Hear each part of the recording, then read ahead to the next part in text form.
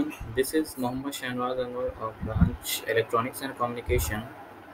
Here I show you the simulation circuit diagram of electronics letter box. First we have to toggle this switch. Here I use 3 LED, LED 1, LED 2 and LED 3 and 3 470 ohm resistance R1, R2 and R3 and one LDR and 100 kilo ohm potentiometer 9 volt DC supply and one switch and IC triple five.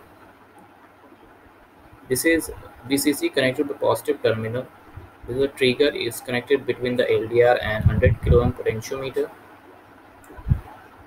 And now I run this.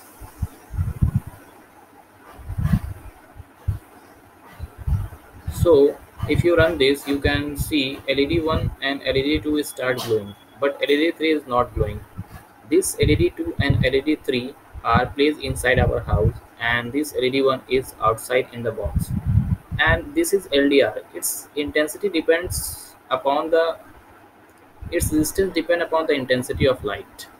When the latter is in between LED 1 and LDR, this LED 3 is start glowing and this LED 2 is switch off.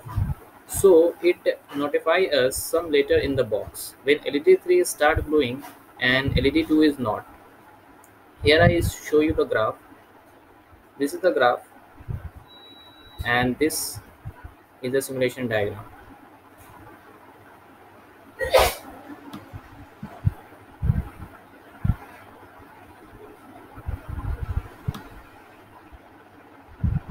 Here you can see